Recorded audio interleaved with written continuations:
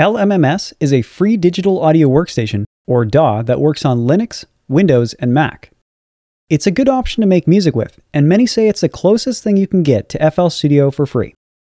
Another great feature is you can use your computer keyboard as a MIDI controller. If you want to learn how to use this DAW in a practical tutorial, keep watching.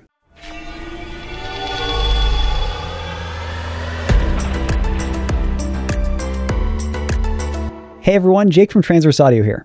The first thing I want to mention is that I'll put the link to the website where you can download this in the description below, along with the computer specs you'll need and what kinds of plugins this DAW supports. I will also pin a comment below with the timestamps of the different sections I go over. Oh, and if you're wondering what LMMS stands for, the software was formerly known as Linux Multimedia Studio. Let's get into the settings first. Then we'll move on to the layout of the DAW so you know what everything does and where everything is. Go up to Edit in the top left and down to Settings. There are two things you may want to change right away. First is Enable Note Labels in Piano Roll, which will help you know what notes you're using when writing music. The other is Language at the bottom, which may be good to change if you read a different one better than English. Moving on to Directories, this is where you can set up the folders that LMMS looks in for your files. This would be your plugins, sound fonts, and other things like themes and background art. Samples are handled a bit differently, but I'll talk about that when I get to the layout. There is performance settings, and then audio settings, where you can set up your audio interface. And last is MIDI settings. Once you're done, press OK at the bottom, and if you want, you can restart LMMS now, but it's not necessary for this tutorial. The layout in LMMS is very customizable and is basically a sandbox. You get unlimited space as you can expand the work area when you move windows further out in any direction. And it will shrink back down as you move them towards the center again. Closing a window inside the DAW will not erase anything. It's pretty much minimizing it. I'll get back to these windows later. Now, on the top, you'll find the toolbar which holds some shortcuts to what is in the top menus like File, Edit, etc. These are for creating new projects and opening exist. These are for creating new projects and opening existing ones, saving, exporting, and even a cool info button where you can click on it, then on something you want to learn about, and it will tell you what it does. Below the shortcuts for the File menu are the ones for the View menu. These are for all the windows you'll need to create or edit audio. The transport section to the right of the toolbar options shows you information about the arrangement. Click on the position to change it from time to measure. And you can either double click, click and drag, or scroll to change the rest. To the right of those are the master volume and master pitch. Then you have the CPU meter, which you can enable by clicking on it. Okay, one last thing before we move on to the windows, like the piano roll and mixing console. On the left side of the DAW, you'll find the media browser. Here is where your virtual instruments will be, where your projects will be, the samples, and presets that come with the DAW. And the last two are directories for your computer. These two are where you'll need to navigate to the folders that hold all your samples or audio files you want to use in the DAW, such as loops, drums, etc. And what's cool is you can even navigate to your VST plugins this way too. For both samples and plugins, you can drag and drop them from the folders directly into the song editor, also known as the playlist, or the beat and bassline editor, also known as a step sequencer. This brings us back to the windows from the toolbar. The option to the left opens the song editor, which is a timeline to arrange different patterns and audio. Like I said, you can drag and drop plugins and samples into this to assign them to their own track in the playlist. You can also add things like the beat and bassline editor, audio files, and automation tracks from the toolbar in the song editor. Then, you can rearrange the order of the tracks if you want by clicking and dragging on any part that doesn't have a button or parameter. On each track, you have an options menu, which is different for each type of track a mute and unmute button, a solo button, which mutes every other track, the name of the track, single click to open its window, and double click to rename it.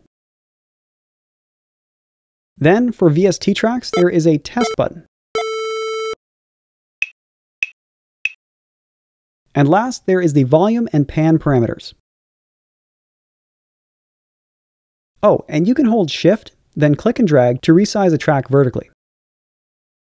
Okay, now for the timeline section. Left click on the bar to create a pattern. Right click to see more options. Middle click to delete it. And hold Control and middle click to mute a pattern. You can drag them around and it will tell you what bar they're on, and pressing Control then dragging will duplicate the pattern you've selected. To edit what is in a pattern, just double click and it will open the editor specific to what kind of track it is. With the exception of the beat and bassline editor, each pattern is unique, and the changes you make are separate from the rest, even if it was originally a duplicate of something else.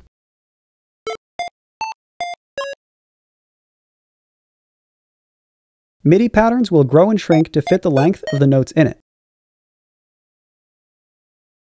But all other tracks can be resized manually by clicking and dragging from the right side of the pattern. Although beat and bassline editor tracks are the only ones to keep duplicating as you drag them out. The arrow and line is where the song will play from, and can be moved around by left clicking once or dragging along the bar counter on the top. Playing and stopping can be done from the toolbar, but can also be done by pressing the spacebar, as long as the song or automation editor was the last window clicked.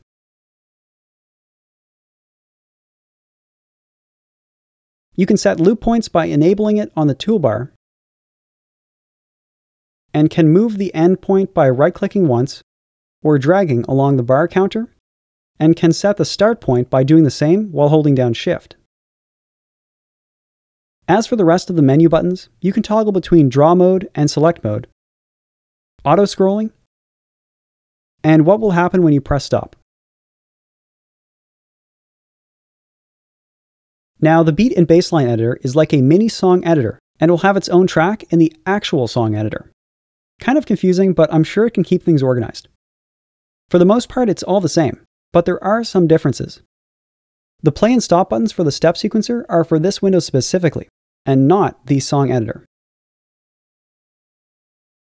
Each block is a beat, or a MIDI note, and you can left click to enable or disable a note for each one, and right click on any of them to show the options for that track. For example, you can show the piano roll, which can give you a better perspective of what this actually is.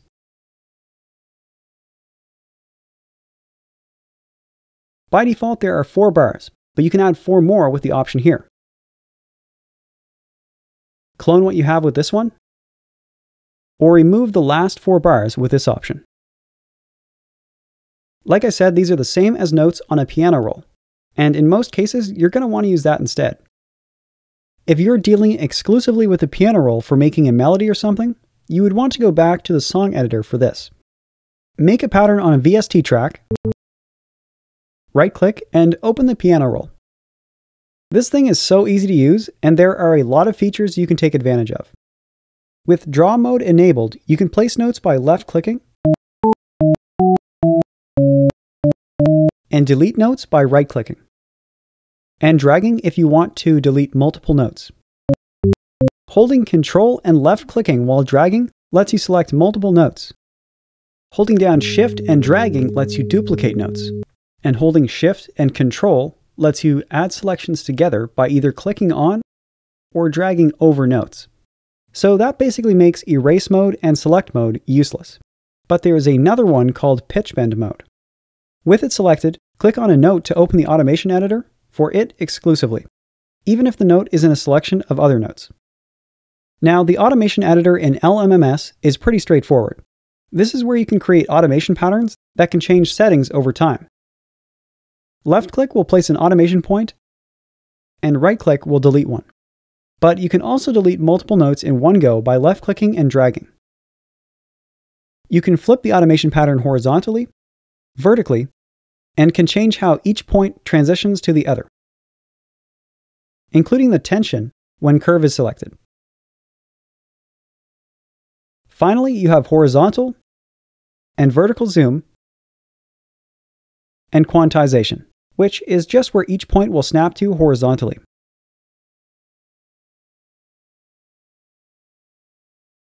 Oh, and you'll probably want to stick to whole numbers when changing the vertical position of each note, as these are semitones, and that is what each note will be. If you're a bit confused, check out the card to the top right and skip to 5 minutes and 48 seconds. I talk about what cents, semitones, and octaves are. It will help you a lot when changing the pitch of something. Automation clips may also have their own track in the song editor, depending on what parameter you automate. And you'll need to make a new automation track for each parameter you want to change, if that's where it's going to be. However, something like the pitch bend is not. That is handled inside the piano roll, as you can see. Okay, let's get back into the piano roll. There is still some really cool features that I need to show you. Just like the automation editor, you have zoom and quantization. But you can also choose how long the note will be when you draw it.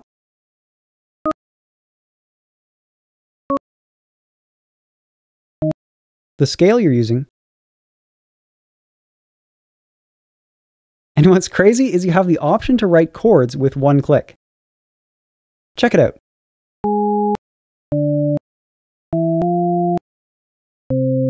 Pretty cool, huh? Another amazing feature is the ability to record from a MIDI controller right into the piano roll, either on its own or as the rest of the song is playing. And yes, this includes your computer keyboard and will play chords from a single key if you have a chord selected.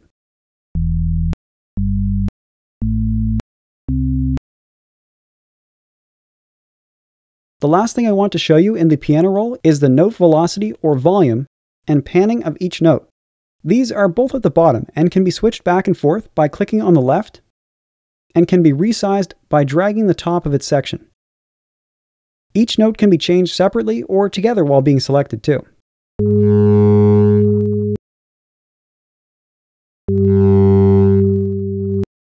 Alright, so now that you have some audio going on, you may want to mix it now. This is the mixing console or mixing rack, which is called the FX Mixer in LMMS. Unfortunately, this is where the DAW lacks features, and instrument tracks are the only ones that can be routed to this window. But you can still change the volume of audio tracks from the song editor, along with adding effects to them by clicking on the name of the track. As for what's going on in the mixer track, you can add new tracks by using the plus icon or by going to the song editor, then to the options of an instrument track and assigning it to a new track that way. The master track is the output of the entire DAW, and all other tracks are sent to it by default. You can disconnect a track from it, or change the amount being sent. And you can also send tracks to other tracks too, not just the master. This would be good for a mix bus, for example. If you want to learn more about what a mix bus is, and mixing in general, check out the cards at the top right. Each track has a volume slider, often called a fader, and controls the decibel level of everything being sent to that track. And yes, you can have more than one instrument track sent to a single mixer track. Above the fader is the mute and solo buttons, the name, and track number. Right click to see the options for the track. Last is the effect chain, which is unique to each track. but the master would apply its effects to every track. So if you had reverb on the master, every other track would have reverb on it too.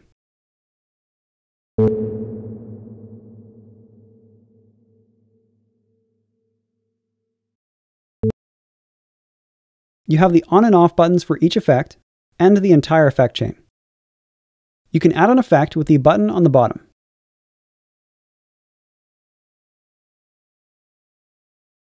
Right click an effect to see the options, and press Controls to see the plugin. LMMS also comes with a Project Notes window, so you can write down information about your project. It's got a lot of features for a notepad, and for some odd reason, it's super customizable. But hey, I'm not complaining. Okay, the last window in LMMS is the controller rack. Now, I'm not going to be talking about it in this video as it's more of an intermediate skill. The basics of it, though, is that it's an LFO or low frequency oscillator that will change parameters over time. For example, let's use it on the pitch of a VST plugin to see what it would do.